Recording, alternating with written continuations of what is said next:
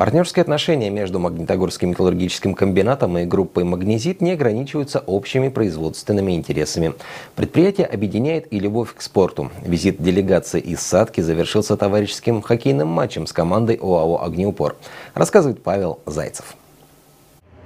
Руководители Магнитогорского металлургического комбината и его подразделений не раз отмечали, что плодотворнее всего работают те, кто умеет правильно отдыхать. Гости из Садки, которые в большинстве своем ни разу не были на столь крупном предприятии, как ММК, по достоинству оценили увиденное в «Магнитке» и признали, справляться с таким производством можно лишь находясь в хорошей физической форме. Пусть победит сильнейший, а спорт всегда останется в здоровом духе каждого земляка Челябинской области хотим вам всем пожелать хорошей игры, матч товарищей. Самое главное провести его без травм, но с азартом и с. Магнитогорцы начали встречу гостеприимно, на время позволив сопернику завладеть территориальным преимуществом.